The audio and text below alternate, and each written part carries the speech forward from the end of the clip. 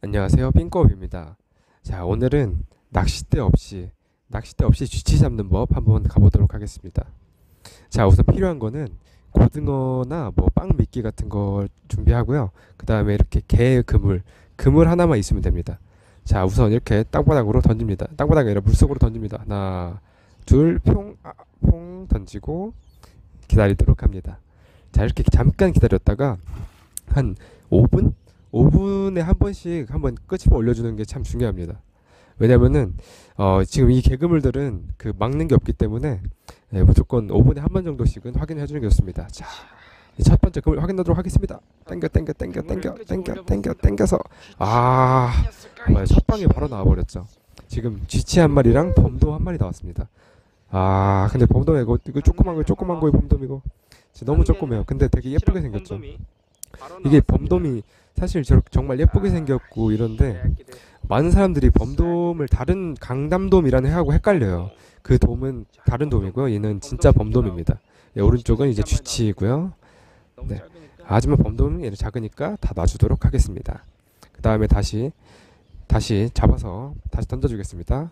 자, 하나, 둘, 평 던져주고요. 던지고 또 다시 기다려 보도록 하겠습니다. 딱 5분만 기다립니다. 이렇게 줄도 가지런히 정리를 해줘야 돼요. 줄을 가지런히 정리를 안 해놓으면 이제 막 다 걸리고 아주 난리 나는 겁니다. 그냥. 자, 깔끔하게 정리를 했으니까 자 다시 끌어올려줍니다. 자, 오, 오, 올려주세요. 아이고 와 또 한 마리네요. 한 마리 이번에 이번엔 쥐치 한 마리 있습니다. 아니구나 쥐치 두 마리군 한 마리구나 한 마리네요. 자 쥐치 한 마리가 있고요. 네, 쥐치 한 마리 잡았는데 다시 또 잠깐 던져놓고 바로 그물은 최대한 빨리 다시 되돌려 놔야 돼요. 왜냐면은 그렇게 해야 바로 물고기들이 바로바로 바로 들어오기 때문에 네 바로바로 바로 그물 다, 다시 던져줍니다. 이제 꼬마이가 쳐다보고 있네요. 꼬마이도 낚시를 하고 있어요. 근데 저는 아, 그 지가 이 주치도 작으니까 바로 놔주도록 합니다. 자 낚시도 했는데요. 낚시는 이제 아무것도 못 잡아서 뭐 열릴 올릴 영상이 없네요. 자 그 다음에 자 세 번째 자 세 번째 트라이 자, 3코, 3코, 3코, 3코 갑니다. 3코 갑니다. 아, 아, 아, 이번에 사이즈 좀 괜찮네요. 아, 이번 쥐친 사이즈 조금 괜찮습니다. 이번엔 아, 살짝 손바닥만한 쥐치가 올라와줬어요. 아, 해서, 자, 다시 바로, 아, 그렇죠. 바로 던져주고.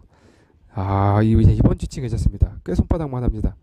자, 이런 지치는 바로 통에 키핑해줍니다. 그러면은, 이제 이따가 맛있게 쥐치를 구워 먹을 수 있습니다. 네, 아 보이시죠? 근데 되게 예쁘게 생겼어요 쥐치가. 되게 화려하게 생긴 쥐치예요.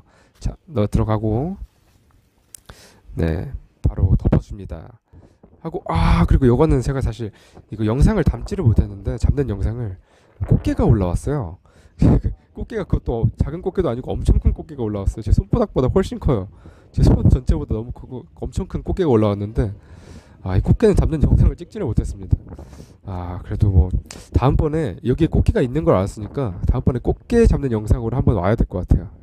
아, 그럼 꽃게 잡는 영상에서 한번 제대로 여기 올려 올려보도록 하겠습니다. 자, 꽃게는 됐고 집어치우고 이제 바로 네 번째 try, 네 번째 try 갑니다. 자, 자 네 번째 올려라, 올려라, 올린다. 아, 이번에 두 마리 올라왔네요, 두 마리. 둘 다 너무 너무 귀여운 사이즈들이 올라와 버려가지고 아 아 둘 다 막 아이고 아이고 좀 너무 너무 조그맣다 진짜 너무 조그맣다 저거 이거 이거 이런 거 어디다 쓸 수도 없, 쓸 수도 없어요 이런 건 네? 너무 조그매가지고 그냥 아이고 둘다 보고 있다 그냥 이렇게 구경만 하고 구경만 하고 다 던져줍니다 아, 다 똑같은 종류의 쥐치만 올라오고 있네요. 원래 저기서 조금 쥐치 종류가 다양하게 올라오곤 하는데 왜 똑같은 종류만 이렇게 올라오는지 잘 모르겠어요. 아 그리고 다시 미끼통 들어주고 자 이번엔 고등어 미끼가 거의 털렸으니까 이제 빵 한 빵 쪼가리 미끼를 한번 써볼게요. 제가 이거 빵을 반죽해 가지고 놓은 거거든요. 아 지금 보이진 않는데 빵 빵을 반죽해서 놓은 미끼인데 저거를 한번 넣어서 해보도록 하겠습니다. 아 얘네들이 생각보다 물고기도 많이 끌고 되게 좋더라고요. 물고기들이 뭐 바다 물고기들인데 빵을 되게 좋아해요 그래가지고 네, 빵 미끼를 넣고 자 케이스를 잠그고 자 바로 다시 던져주도록 합니다 아, 옆에 구경꾼들이 많아가지고 제가 마이크 마이크 안 그래도 뭐, 뭘말 못하고 있는데 제대로 담지도 못했어요 자 바로 아래 딱 던져주고요 자 기다려주도록 합니다 야, 자 이렇게 하면 똘똘똘똘똘 내려가고 바로 다, 다섯 번째 다섯 번째 트라이 갑니다. 고! 고! 고고고! 고고고! 고! 아 쥐치 올라왔네요 쥐치 아 근데 얘도 얘도 아 좀 작다 너무 작다. 얘도 너무 작네요. 아 손가락만 하네요 손가락만 해요. 아 또 이렇게 또 이렇게 보니까 또 그렇게 작은 것 같지는 않긴 하는데 당시에 봤을 땐 굉장히 작았어요.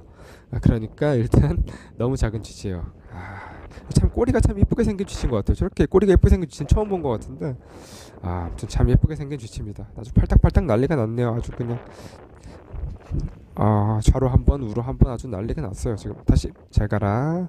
자 바로 보내주고. 자 다음 다음 try 갑니다. 아 이번에도 자 빵조가리 먼저 채우고. 자 빵조가리 똘똘 말아서 일단 너무 퍼쳐 놓으면은 내려가면서 다 풀려버리기 때문에 저렇게 떡밥 말듯이 동글동글하게 말아가지고 조금 단단하게 말아서 넣어두면 잘 풀리지도 않고 물고기들이 더 많이 먹을 수가 있습니다. 한 다음에 아 이번에는 열기 귀찮았나 봐요. 그냥 그 구멍 사이로 끼워 넣고 있는데 저렇게 하면 똘똘 많은 의미가 없어져요. 그렇긴 한데 일단 어 일단 다시 채워 넣고 자, 자 다시 채워 넣고 자 다시 던집니다. 자 던집니다. 하나 둘 둘 셋 동. 자 던지고 다 다음 자, 자 갑니다 갑니다. 자 이 마지막 try 마지막 try. 자 오늘의 마지막 try 갑니다. 오늘의 마지막 try는 과연 몇 마리가 올라올 것인가? 아 자, 오를 바로 바로 끌어올려 줍니다. 끌어올려 주면 아이고 아이고 하, 이 조그만 거, 이 조그만 애들 두 마리 저건 이거 얘는 진짜 무슨 뭐 엄지 손 엄지 손톱만 하네요 진짜. 아휴 저 조그만 것들 어디다 씁니까? 예? 아휴 이렇게 뭐 조그맣지만 야 이렇게 하면은 자 쥐치들을 잡을 수가 있습니다.